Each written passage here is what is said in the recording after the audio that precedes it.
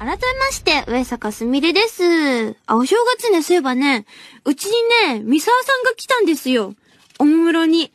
三沢さんにね、このね、あの、12月末からね、1月初頭、めちゃめちゃ会ってたんです。クリスマスイブにも会ったじゃんそれで、あのね、お正月にもね、あの、三沢さんがお家に来て、で、私は頑張って、こう、眠っていた土鍋を呼び覚まして、あの、常夜鍋っていうのが好きなんですよ。あの、ほうれん草とさ、豚肉とさ、あとキノコなどなどお好きなやつを入れて、で、なんか、基本的に出汁で、こう、味を整えて、飽きたらポン酢で食べるみたいな。もう、ほうれん草とね、豚肉の相性がいいし、これ絶対失敗しないだろうって思って。なんか、絶対さ、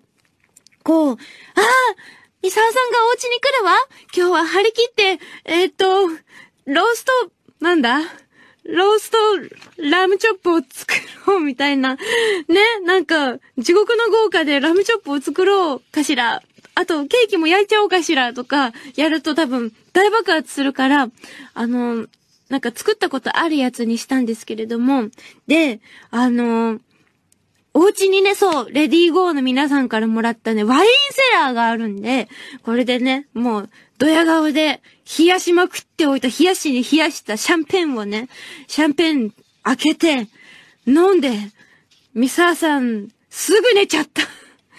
もうね、なんかね、知らないとこで寝てたんですよ。なんか、あの、ソファーでね、こう、ご飯ひとしきり食べて楽しくね、こう、なんか、水曜どうでしょうトークとかをしてたりしたんですけど、こう、め、あの、メロくんアレルギーなんですけど、ミサさん猫アレルギーのくせにね、なんか、今日薬いっぱい飲んできたから大丈夫って言いながら、あの、メロ君はなでなでなでなでしながらですね。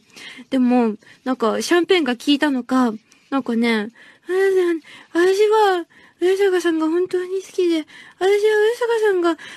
本当に好きで、私、上坂さんが本当に、あ、聞いてた今の話。ねえ、もう、上坂さんが、ほーんとに、か ーみたいな。あるそれって そういうアニメみたいな眠り方あるんだって。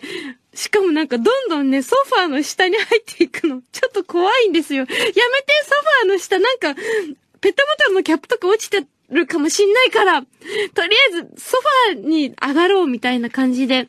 で結局、ミサさんは、半ソファーに潜りながら眠り、私は、なぜか、あのさ、エナジードリンクのモンスターってあるじゃん。あれをね、自分だけ飲んじゃったの。もうギンギンになってしまって目が。うわ、ギンギンのめちゃめちゃ今バーストしてる。めっちゃ元気どうしようって思った結果、